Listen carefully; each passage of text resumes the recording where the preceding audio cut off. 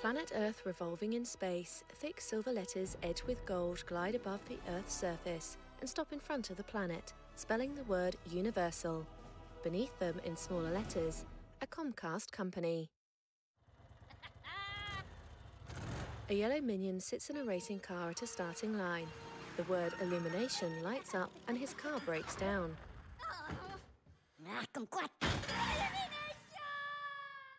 The car suddenly speeds off, an old video game of Mario and Luigi jumping up and hitting a question mark box, causing coins to pop out. They hit the box again, and the logo for Nintendo appears.